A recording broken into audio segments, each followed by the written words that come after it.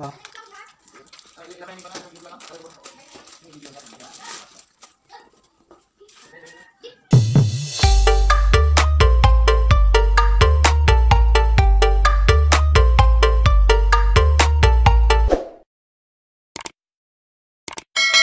So, what's up guys? Welcome back sa ating panibagong video.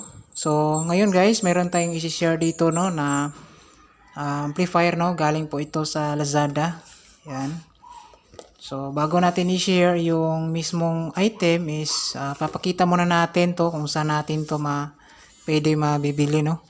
So, ito guys, makikita natin dito sa Lazada no. Ito yung kanilang ah, mismong store. So, ito pala yung mismong item na Knob Sound NS-01G Mini Bluetooth ah, 5.0 power amplifier wireless audio receiver na DC 12 volts. So yung name ng kanilang store dito is uh, Noob Sound. So ito yung ah, store nila Noob Sound no sa Lazada store. So ngayon ah, bubuksan na natin to. Itong klase na ah, mini Bluetooth no. So, kanina lang to dumating. Kaninang umaga no. So, meron siyang manual sa kaniyang mismong box. Tapos, ito yung mismong item, no? Yan. So, ito yung mismong ah, Bluetooth amp. Bubuksan natin yung kaniyang yan. So, maliit lang siya, guys, no? Ito siya. So, ito, guys, yung mismong ah, Bluetooth no, ito siya. Kikita natin dito sa cellphone itong Knob Sound NS01G mini Bluetooth. Yan, ito siya yung actual na products no. So makita natin dito, ito yung main amp niya. So check pa natin yung laman ng box. So so ito yung supply niya 12 volts no. So knob sound adapter So, supply niya is, uh, input siya, pwede sa wa- 110, pwede rin sa 220 volts. Yung output niya is 12 volts with 5 ampere. So, medyo malakas din siya kasi 5 ampere. So, meron ding uh, USB cord. So, meron din siyang RCA na 3.5 mm to RCA wire. Meron din siyang ah, isang para sa aux stereo cable. Yan. So, pwede ito ikabit sa laptop natin or cellphone. Yan. So, ito guys, review muna natin itong klase na Bluetooth, no? So, maliit lang siya. Pwede natin ilagay sa bulsa natin, no? So, nandito yung kaniyang volume niya. Ayan, malaki yung kanyang knobs. Yan. Sa harap, nandito yung kanyang USB sound. Yan. So, aux, ito yung aux para sa input natin. Ah, saksak natin sa laptop or cellphone natin. Ito naman yung kanyang power switch kapag naka natin. So, gagamit tayo nito ng 12 volts sa kanyang supply. So, ito yung Hilcura niya. Makikita natin dito yung kanyang ah, DC input, no? Yung kabitan ng supply niya, which is ito. Ito yung ikakabit natin dyan para mapagana natin. So, dito na side, ito yung ah, output para sa speaker R. And dito naman yung output para sa speaker left. So, kabit tayo dito ng speaker sa left and right channel. Ayan. So, sobrang ganda niya guys, no? Itong klase na mini Bluetooth amp. So, try natin guys. I-power on natin, tapos i-testing natin siya. So, meron tayong speaker dito. Yan, Joson speaker. So, ito try natin dito, no? So, ito yung wire natin. Titest muna natin sa isang channel, no? So, positive. Dito yung negative. So, ito try muna natin dito sa isang channel. So, positive. Ito yung negative niya. Ayan. So, maliit lang ito mga guys, pero may kalakasan dito siya. Kasi SMD yung gamit ito. Mga IC yung gamit. Ayan. tapos nakabit na natin yung speaker. So kung meron ka pang isang speaker dito yung kabit no? So ito siya yung supply natin. So ito siya ikabit natin to dito sa likuran yung DC na Ayan. Tapos, input natin dito, aux. Kabit tayo sa cellphone dito. Gamit tayo nito. Yung isang cord. So, ito, ito yung gagamitin natin na cord. So, aux natin. Ito siya, aux. Input natin aux dyan.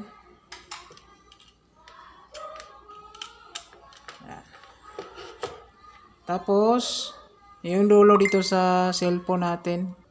So, power on na natin. Ah, saksak muna natin to sa kuryente. Ito, sa kuryente. Saksak muna natin sa outlet.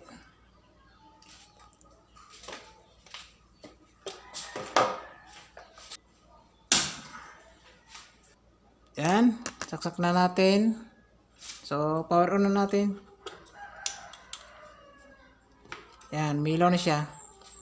So, select tayo ng music dito. So, yan guys, naka-play na tayo ng music, no? So, volume na natin yung uh, amplifier, no?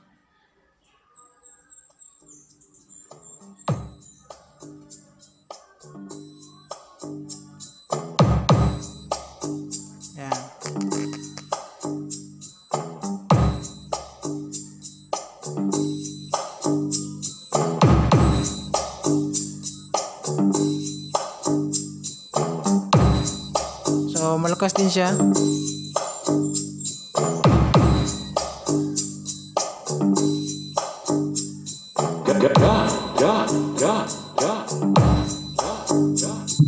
DJ Wowie Remix.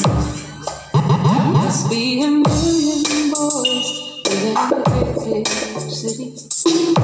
I know. So, tumutunog din siya guys. Malakas din siya. Yan. So, speaker pala natin is 350 watts.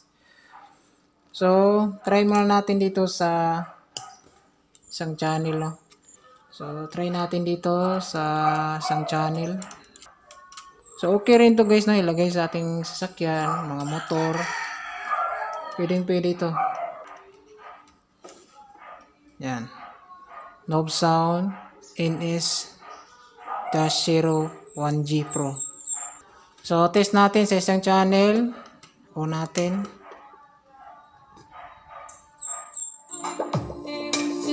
In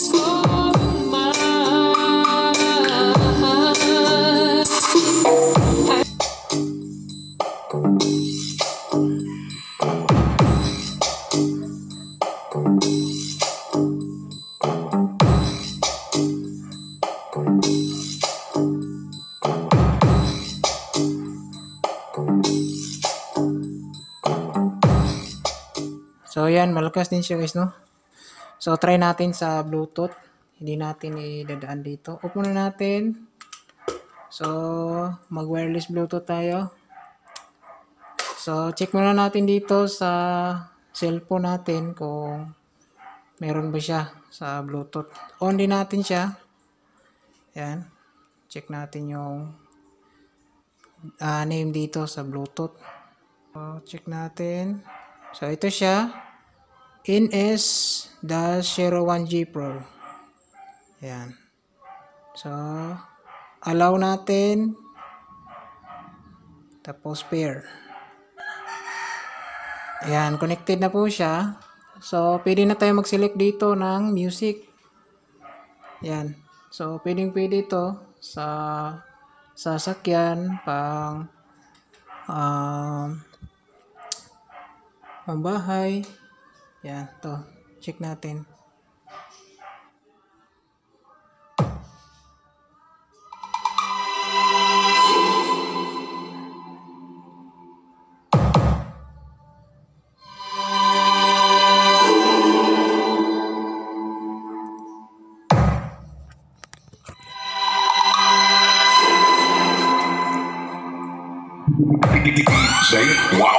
Remix.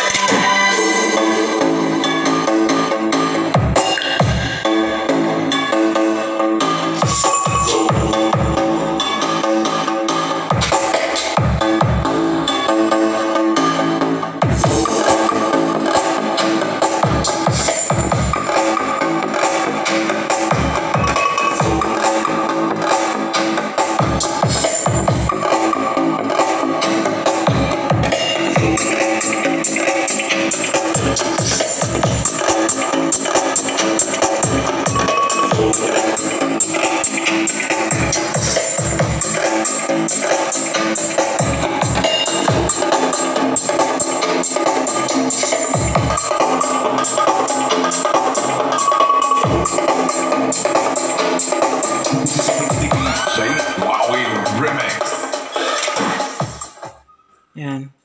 So, ito pala guys, yung knob sound, no? Knob sound is in S01G. So, malakas din siya guys, kahit maliit siya. Yan. So, hindi man lang siya uminit, oh. Tapos, kagandahan dito is 5 ampere yung kanyang ah, supply, no? So, yung 12 volts 5 ampere. So, yun lang guys, yung demo natin dito. Testing and review dito sa knob sound ah, NS01G. So, yan lang guys. God bless. Kaya tayong lahat.